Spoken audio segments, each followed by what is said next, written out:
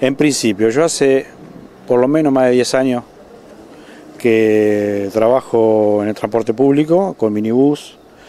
Este, dentro de todo ese, tiempo no he tenido nunca un, inconveniente ni con la empresa ni con los pasajeros. La gente me conoce de Bragado porque creo que he transportado a gran parte de Bragado. Este, ni con terceros, como en este caso. Este, lo que ocurrió fue que a partir de cuando salgo de acceso este, me encuentro con un polo verde, que lo, lo, paso antes de llegar al puente de Luján. Y bueno, a partir de ahí ese polo se mantuvo siempre dentro de, donde yo venía viajando. por momentos adelante, por momentos atrás.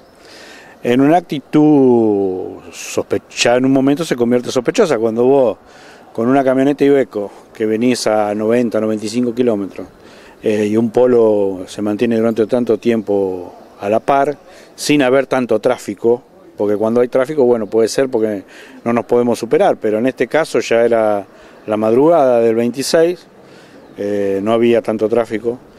Y bueno, cuando yo veo que ese auto se, se, mantiene a la par mío, por momentos adelante, tratando de hacerme bajar la velocidad, este, me empieza a poner nervioso.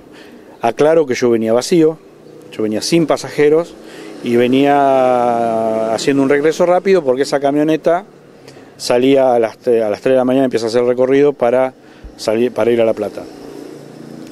Eh, venimos así hasta, hasta Chivilcoy, cuando paso, eh, Chivilcoy llegó adelante del polo, cuando yo desconozco absolutamente quiénes son los que vienen adentro y de dónde es el polo. ignoro completamente. Este, y, también me vengo preguntando por qué esa actitud del auto, ¿no?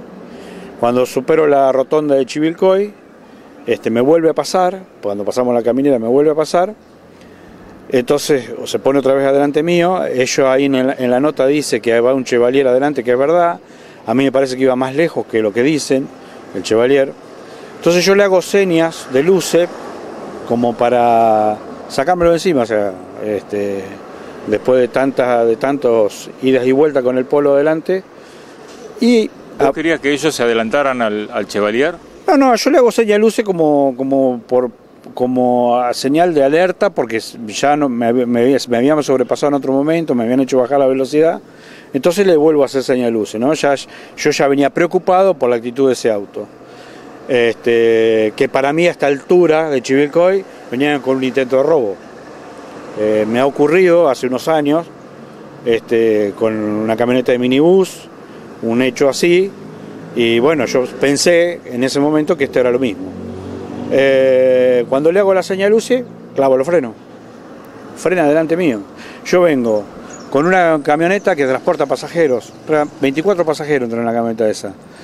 Eh, ellos ignoran que si yo vengo vacío. Yo vengo vacío, pero ellos ignoran que vengo vacío para mí era un claro atentado hacia el transporte público. O sea, vos frenar con un auto para hacer frenar una camioneta que viene con pasajeros es una, clara agresión. Obviamente yo le demuestro que no voy a frenar, que no me voy a detener, eh, le apoyo la camioneta y no me dejo frenar, no me dejo detener.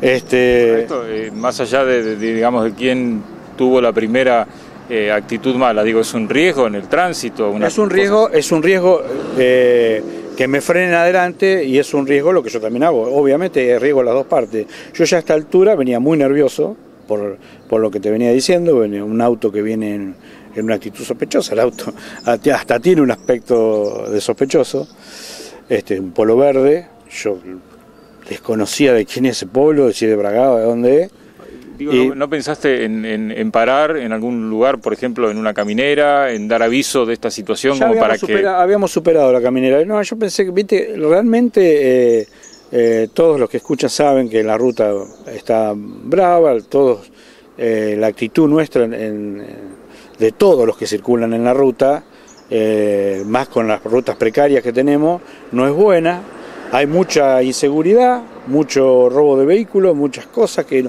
nosotros vemos a diario. Este, eh, y bueno, yo este, pienso en ese momento que me están en un claro intento de robo y actúo en consecuencia para que no me, detengan.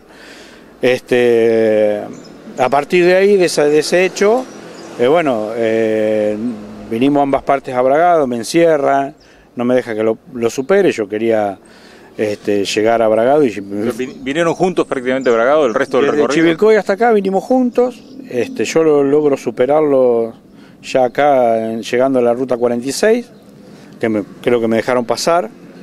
Eh, siguen atrás mío por la ruta 46, cosa que no me gustaba nada. Entonces ¿No sabías, todavía no habías reconocido quién no, No, no, no, en absoluto. Ni, ni pensé que ese auto, pensé que no era de Bragado ese auto, sinceramente, porque nunca lo había registrado. Eh, me voy derecho a la comisaría. En la nota dice que yo fui detenido. No es verdad. Yo fui por mi propia voluntad a la comisaría para hacer la denuncia por un intento de robo. Y ellos me reconocen en la nota que yo, que yo voy por un intento de robo. Fíjate que la nota lo dice. Este, cuando nos bajamos, yo me bajo primero, llega el patrullero atrás mío, este, me voy hacia el patrullero para decirle que ese auto me, venía siguiendo, me querían robar. Cuando se va, se baja el esposo, creo que es de Corina, al que no conozco, nunca, no sé cómo se llama. Este, bueno, nos empezamos a insultar, nos empezamos a, agredir verbalmente, eso casi pasa la mano, nos detiene la policía en un gesto realmente bueno, nos separa, trata de de serenarnos. Nunca llegamos a contacto, como dice ahí, nunca nos tocamos. Corina dice que, que, vos intentaste pegarle a ella.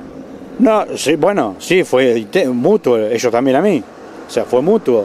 Si no hubiera estado la policía, seguramente nos hubiéramos agredido. Pero fue mutuo. No fui yo a ellos.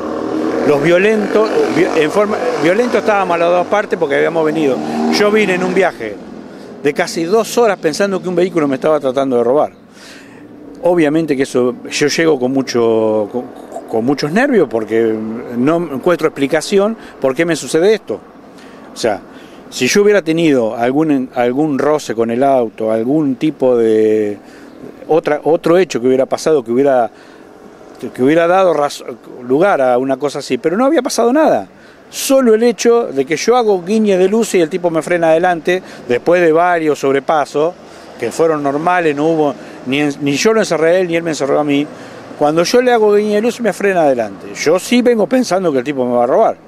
Esa es mi actitud, porque un auto me viene siguiendo, lo, vengo, lo tengo identificado de acceso a este para acá, porque como ya me pasaron, vengo prestando atención a eso. Y ahora, digo, con la mente un poco más fría, digamos, ¿qué pensás de lo que sucedió? No, yo creo que fue un malentendido de los tantos que hay todos los días en la ruta nuestra. Este, yo, tanto con Corina como con el esposo, no, nunca tuve trato, ni para bien ni para mal, no los conozco, no me conocen.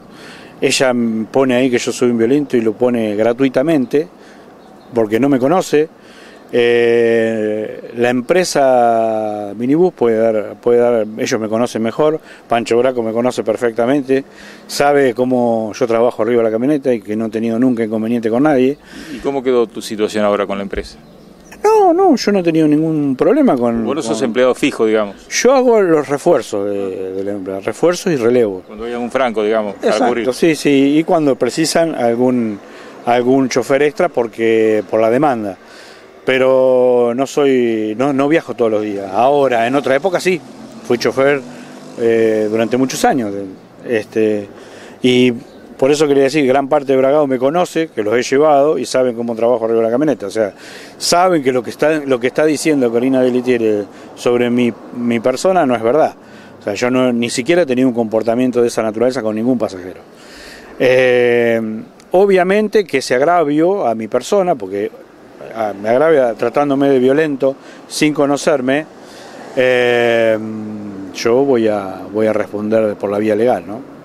Este, eh, nada, no encuentro otra, otra, no tengo otra, otra cosa para decir, salvo eso, que ha sido un malentendido y que se ha llevado a una instancia que, yo no pensé. O sea, yo me entero hoy por los medios de esta nota y bueno, este doy mi aclaración del caso, ¿no? No, no hubiera ocurrido nada si no hubiera habido un motivo. O sea, yo no voy a empujar un auto porque sí. O sea, no, no lo hice nunca, ¿por qué lo voy a hacer ahora? Un auto porque va delante mío, voy a empujar un auto, no tiene explicación. Algo pasó y fue eso. Clavaron los frenos delante mío y sacaban la mano por la ventanilla para que pare. Yo pienso que un claro, un claro gesto de, de, de pararme para robarme.